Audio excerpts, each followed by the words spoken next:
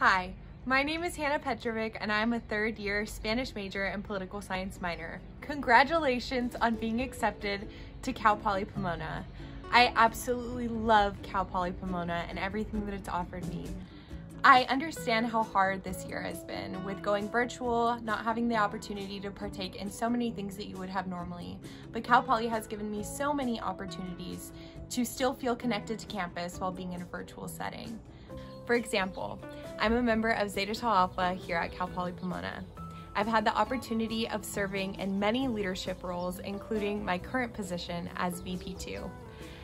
I have had the opportunity to educate people on breast cancer awareness and have had the opportunity to empower women throughout the process.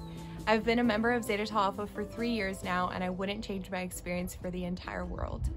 I'm also a member of the community outreach team here in the College of Letters, Arts, and Social Sciences.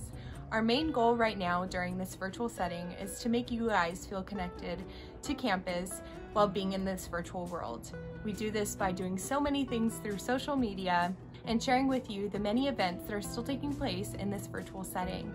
Lastly, I highly recommend all of the amazing places to study when we're back in person, obviously.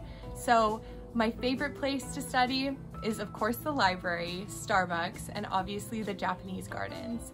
The Japanese gardens is filled with such beautiful architecture and plants and is one of the most relaxing places and most quiet places on campus to study. I highly recommend it.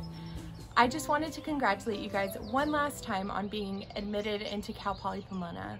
Your experience will be incredible and it will be exactly what you make of it. So wherever you end up, I just want to wish you guys the best of luck and go Broncos.